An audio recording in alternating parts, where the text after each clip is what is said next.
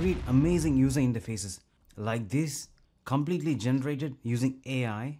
Also, you will be able to preview whatever you generate in real time, as you can see here.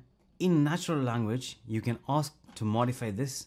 It's similar to artifacts, but you are able to generate, refine, and ship all in one user interface. That is V0 from Vercel. That's what we are going to see today. But before that, I regularly create videos in regards to artificial intelligence on my YouTube channel.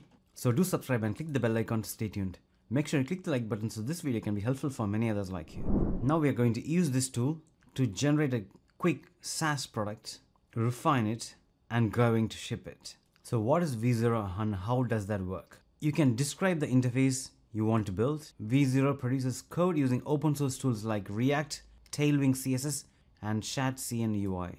As you would probably know that these are some of the latest UI packages. After that, select an iteration and keep editing in V0, which means you can refine using your natural language.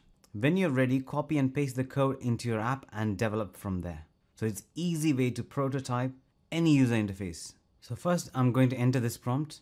Generate a multi-step wizard to collect information on users when onboarding onto a SaaS product.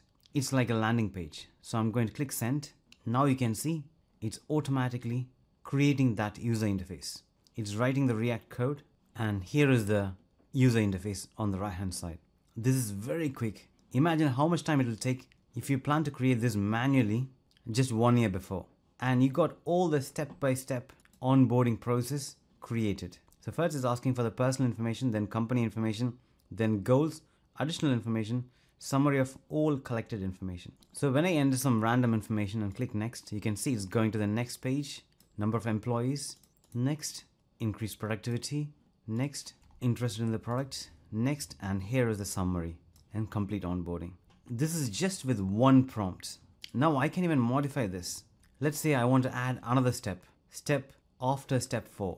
So I'm going to say add another step after step four, asking the user if they want to integrate AI. Just clicking send. Now it's updating the code. And now it added a step number five about AI integration. Now it added step number five about AI integration. Trying my information again, company size, developer, then additional information and clicking next. AI integration. So the modification is now available. Would you like to integrate AI in your workflow? Just clicking yes. Just saying custom chatbot and clicking next. See now you got the summary with the AI integration, yes or no. Now finally, if you want to publish this, you got the publish icon here so that you can share with other members of the team. Also, you got the code here. You can just copy it and integrate this in your own application. As simple as that. I'm going to publish this and see, confirm and publish. So copying the URL and here's the published version. Just only the landing page. You can even use directly this and get users information. I'm really excited about this. This will speed up the process of user interface development. I'm going to create more videos similar to this, so stay tuned. I hope you like this video. Do like, share, and subscribe, and thanks for watching.